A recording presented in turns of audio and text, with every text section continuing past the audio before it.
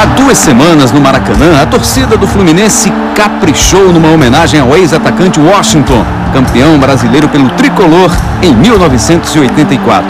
É maravilhoso, né? A emoção é única, né? A gente é, se sente até emocionado, mas feliz, né? Eu acho que o mais importante é estarmos aqui e sentindo né, essa galera gritando o nosso nome, é muito bom. Washington sofre há três anos com uma doença degenerativa que afeta os movimentos, o sistema respiratório e a fala, a esclerose lateral amiotrófica.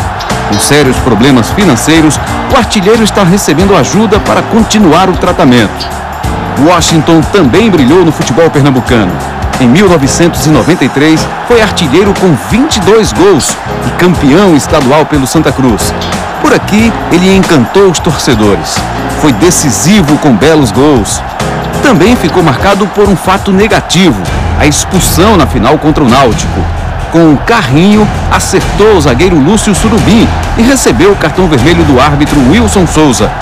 Achou a expulsão injusta. Eu tô levando pancada direto, ele não deu amarelo para ninguém. Uma que eu cheguei, cheguei na bola, não fui para machucar. Ele poderia ter me dado amarelo e simplesmente me expulsou.